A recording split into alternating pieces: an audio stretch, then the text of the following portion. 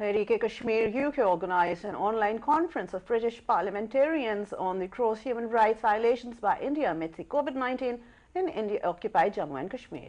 President Azad Jammu and Kashmir Sardar Masood Khan attended the conference as the chief guest, while the guest speakers included Altaf Ahmed Butt, Paul Bristow, Fahim Kiani, Ashfaq Hussain and several others. Sardar Masood Khan said that India is massacring Kashmiris and by changing the domicile law, it wants to change the demographics of the Muslims majority regions into a Hindu majority, which is against the international law. He said the world must immediately devise a strategy to resolve the Kashmir issue through UN resolutions and save the region from war.